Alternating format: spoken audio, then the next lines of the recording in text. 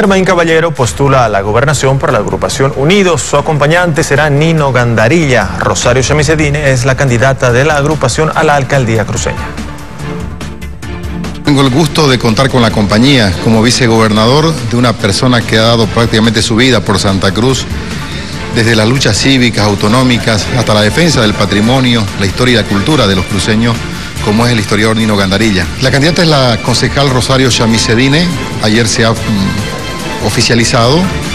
En el transcurso de estos días vamos a hacer la apertura de la campaña y vamos a presentar a todos los candidatos a la Asamblea Legislativa, tanto por población como por territorio.